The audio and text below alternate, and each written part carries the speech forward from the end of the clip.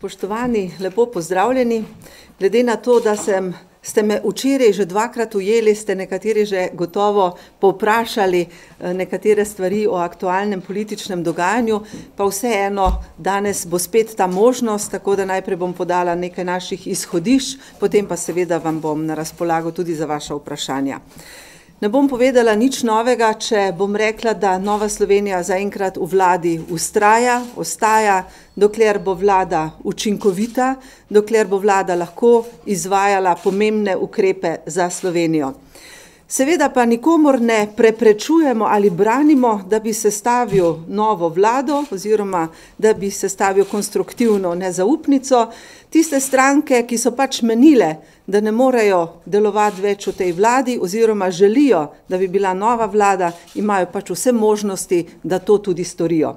Ravno tako predčasne volitve Nismo nad njimi navdušeni, mislim, da tudi nobena od parlamentarnih strank ni nad tem navdušena, vendar, če se nekatere za to potegujejo, imajo spet možnosti, da eh, po določenih postopkih tudi pridemo do predčasnih volitev. Eh, v Novi Sloveniji menimo, ukolikor bi bila ta opcija, pa menimo, da bi bilo najbolje, da toliko časa pač ta vlada dela naprej, v sodelovanju, v dialogu tudi z drugimi strankami. Naslednje leto imamo pa dvoje volitve. Najprej so junija evropske volitve, potem jeseni imamo tudi lokalne volitve.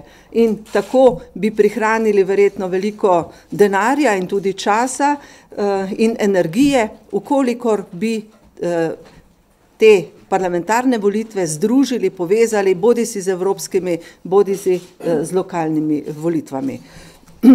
Včerajšnji pogovor pri predsedniku vlade je bil dober, eh, tudi učinkovit, še posebej zato, ker je pri predsedniku države, se popravljam, eh, tudi zaradi tega, ker se je predsednik države pre, predhodno sestal z vsemi predsedniki vseh strank in tudi pripravil predloge.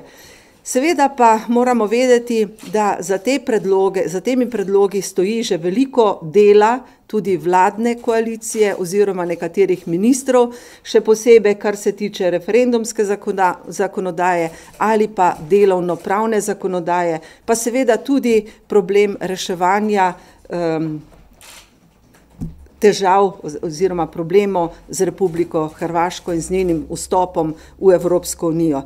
Torej, bilo je že kar nekaj dela narejenega.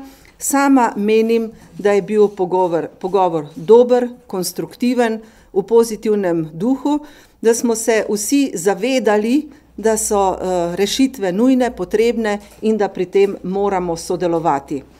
Če bi se tudi o drugih uh, pomembnih zadevah uspeli tako dogovoriti, mislim, da bi v najkrajšem času lahko veliko naredili za rešitev problemov v Sloveniji. Uh, menim pa tudi, da smo se vse stranke zavedale, da se je treba pogovarjati in da se bo treba pogovarjati in da nam tudi ulica na nek način govori, javnost nam govori, dajte, pogovorite se, Eh, sporazumevajte se, eh, iščite skupne rešitve. Včeraj je to znamenje bilo seveda za omejeno število problemov, vendar mislim, da bi na tak način morali delovati tudi v prihodnje. Kot sem pa dejala, tisti, ki pa niso zadovoljni z delovanjem te vlade, imajo pa vse možnosti, da um, vložijo konstruktivno nezaupnico ali pa pridemo do predčasnih volitev.